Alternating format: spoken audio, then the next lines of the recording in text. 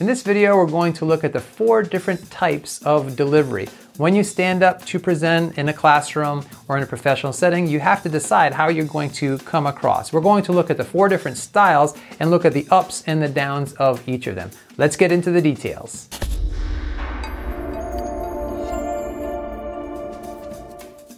Hello again friends, Alex Lyon here, and if you've never subscribed to this channel, Communication Coach, it's here to help you increase your impact so you can lead the people around you to higher levels of excellence. And a big part of leadership is standing up and presenting. And when you stand up, you have to decide what your approach is going to be. So, we're going to talk about the four types of delivery that you can choose from to deliver your next presentation. We're going to start with one of my least favorite, and we'll end on the fourth one with my favorite, the one I recommend. So, first of all, reading is the first approach that you could take to delivering a presentation. I do not recommend reading your presentation word for word, however. This approach is pretty straightforward. You write out your entire presentation and you read it. Now, let me ask you this do you like it when you see a presenter and they're reading their presentation the whole time word for word? Chances are you don't enjoy it very much and neither does anybody else. Now, there are certain situations where reading might help you and you might need to use it. If you're in an extremely formal situation like a graduation ceremony or you're giving a toast at a wedding,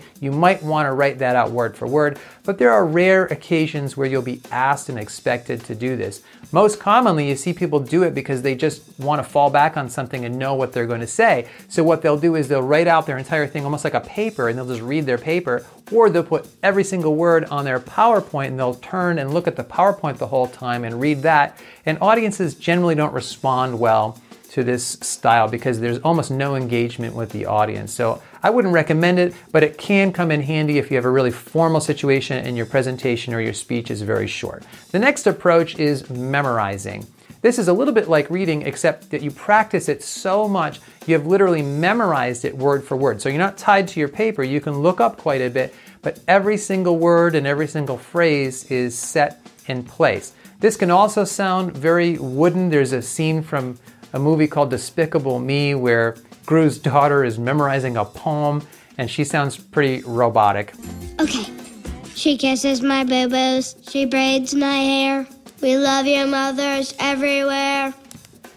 Now, if you're memorizing a poem and it's really short, of course, you might want to get every word exactly right. But there are very few occasions, again, where you're going to be asked to memorize something because it sounds stiff and it sounds like there's no humanity in it, there's no emotion, and there's no connection with your listeners.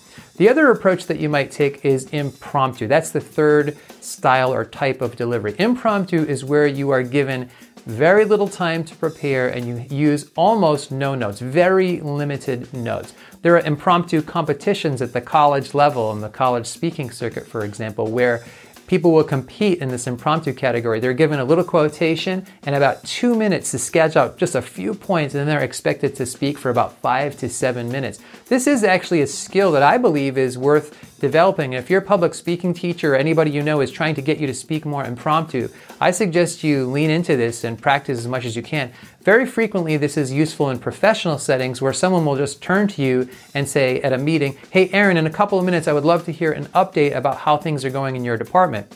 And very quickly, Aaron is going to take her pencil and start jotting down a couple of notes, and then the leader calls back on that person, and then they're expected to talk for a couple of minutes about how things are going. So, an impromptu approach is a great way to practice presenting. You won't be expected to do it all that often, but it is a skill that'll come in handy. And the fourth type or approach to delivery is extemporaneous, and this is my favorite. This is where the speaker speaks from an outline that's researched and put together. They have practiced and then they deliver in a conversational style. So when you're practicing extemporaneously behind the scenes, you're not trying to say it exactly the same every single time you go through it. You're using a variety of ways to express the same ideas, but then when you finally deliver it, you've practiced it so much in so many slightly different ways that you can just have a structured conversation with your listeners. And one of the great benefits of this is that when you're looking up, because you're not on your notes, you can connect with people with eye contact,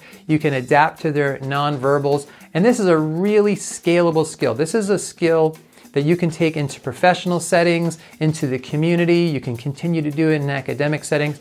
Extemporaneous speaking is really the main way that you will be expected to speak in the future. In fact, for the rest of your life, anytime you get up, you should go to, as your first option, if you can, an extemporaneous approach. So, question of the day What's your favorite approach? What's your go to approach to delivery style? I don't know that it's necessarily one that you should be doing, but what do you fall back on? What's your favorite one to use? I would love to hear your comments in that section below. So, thanks, God bless, and I will see you in the next video.